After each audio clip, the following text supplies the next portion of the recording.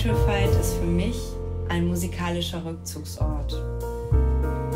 Musik- und Gedichtsvertonungen, die ich geschrieben habe, um mich selbst zu beruhigen in einer etwas merkwürdigen Zeit.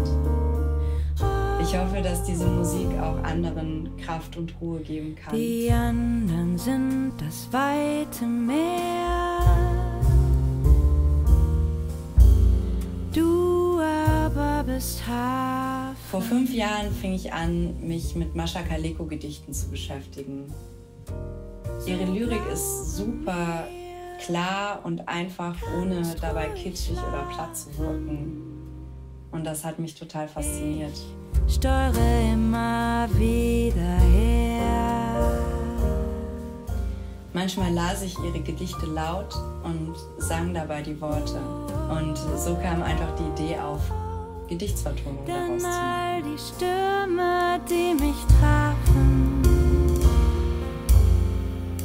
sie ließen meine Segel Nach meinem Studium in New York wurde 2018 der Raum Köln zu meinem neuen Zuhause. Die anderen sind das bunte Meer. Du aber bist Hafen. In Köln fühle ich mich super wohl und habe dort auch gleich mein neues Quartett gegründet. Und im Juli 2019 hatte ich die Chance, unterstützt durch das individuelle Künstlerstipendium NRW, nach New York zu gehen und dort nochmal inspiriert zu komponieren und Gedichte auszuwählen. Zurück in Deutschland konnte ich im September direkt mit meinem Kölner Quartett die Gedichte aufnehmen und ausprobieren. Wir waren im Tonstudio im Loft mit dem super tollen Tonmeister Christian Heck. Christian hat auch unsere CD gemixt und gemastert. Eines der Gedichte, die ich vertont habe, ist das Rilke-Gedicht Du musst das Leben nicht verstehen. Du musst das Leben nicht verstehen, dann wird es werden. Und das ist auch eins meiner Lieblingsgedichte von Rilke, weil das einfach ja eigentlich sagt, dass man das Leben so nehmen soll wie ein Kind. von jedem Wehen sich neue Blüten schenken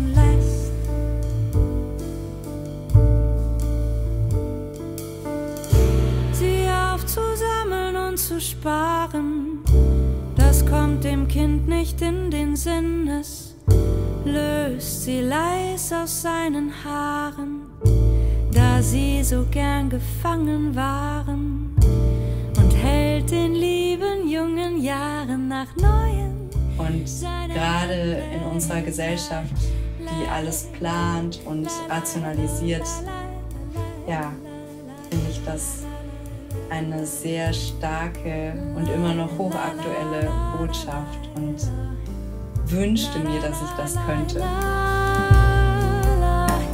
Ich bin total froh mit der Band, wie sie jetzt ist und mit den Leuten, mit den Musikern, die dabei sind. Billy ist der Pianist bei uns und er spielt einfach wundervoll. Wir kennen uns schon länger, wir haben in New York zusammen studiert an der Manhattan School of Music und dann auch nochmal zusammengearbeitet in der Academy Band auf dem Montreux Jazz Festival. Ja, und da hat er mir erzählt, dass er nach Köln kommt, um dort beim WDR einzusteigen, bei der WDR Big Band. Und ja, dann kam einfach schnell die Idee auf, dass er ja auch bei uns im Quartett mitspielt.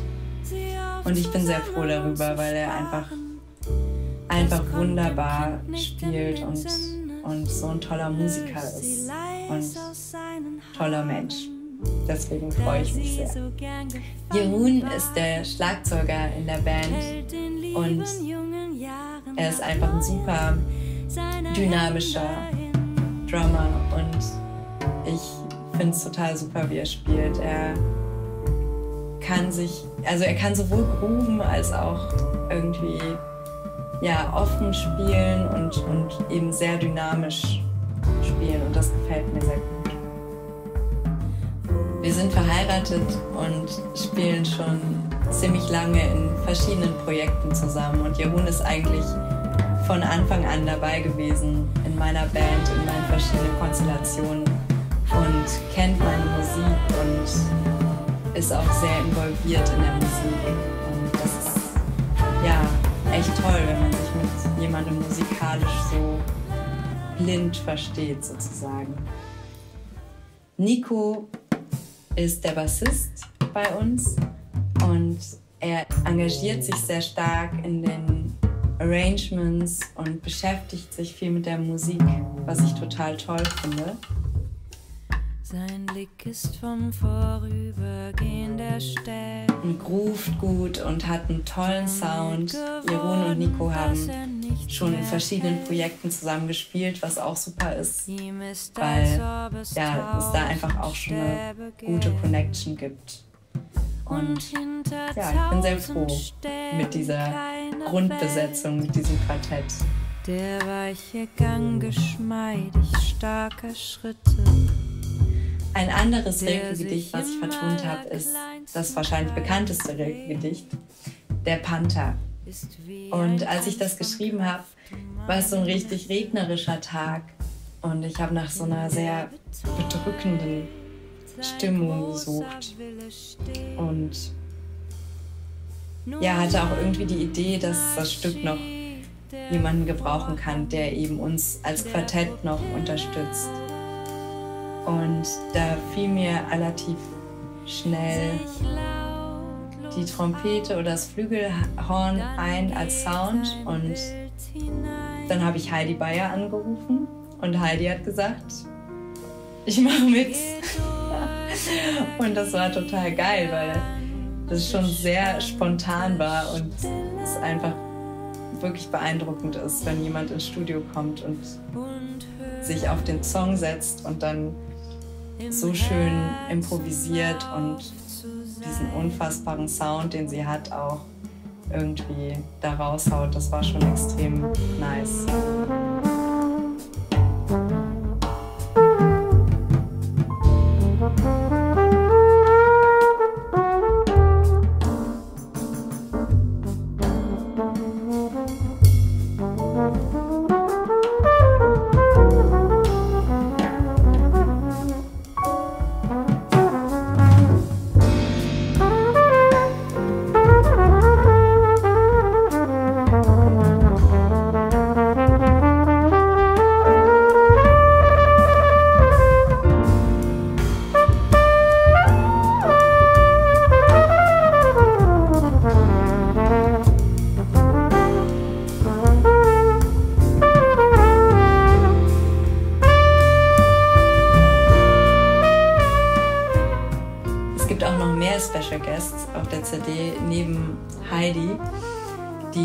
Songs mitgespielt hat, ähm, sind dabei noch der Stefan Karl Schmidt und die Julia Kriegsmann. Ja, ich komme irgendwie immer wieder dazu, dass ich doch mehr Gäste dabei habe, als ich eigentlich ursprünglich vorhatte. Ich hatte ursprünglich vor, einfach nur im Quartett und alles zu reduzieren und so weiter, aber dann habe ich doch vor der Aufnahme plötzlich immer Bock, noch mehr Leute dabei zu haben und andere Sounds und andere Farben irgendwie. Und ja, so kommt es dann immer doch wieder zu einem, einer größeren Besetzung. Und Stefan war bereit, da mitzumachen, was so sehr, sehr cool ist. Und wir kennen uns aus Berlin, wir haben zusammen im Fulbright Jazz Ensemble gespielt und daher wusste ich, wer spielt und konnte mir das total gut vorstellen und er hatte Bock. Und ja, hat einfach ein mega Solo über die Emily Dickinson Gedichtsvertonung hingelegt. Sehr cool. Julia Kriegsmann hat bei Du musst das Leben nicht verstehen mitgemacht und Flöte gespielt. Sie ist Saxophonistin, Altsaxophonistin und Flötistin und hat einen wunderschönen Sound und ähm, hat so ein rhythmisches Pattern am Anfang hingelegt und ja, ist einfach richtig schön, richtig cool geworden. Meine Musik klingt sehr akustisch, würde ich sagen. sehr wie eine Mischung aus melodischem Pop und Jazz. Hat eigentlich viele Singer-Songwriter-Elemente, also die, der Text ist mir immer sehr wichtig und natürlich bei Gedichten ist irgendwie auch schwer, den Text unwichtig zu nehmen. Ist sehr stark orientiert an, an dem lyrischen Aspekt der Musik und des Textes, würde ich sagen. Introspektiv, manchmal melancholisch, manchmal groovy. Also hat ganz viele Aspekte, aber hat eigentlich immer sehr melodische Themen und eben Freiheit in der Improvisation.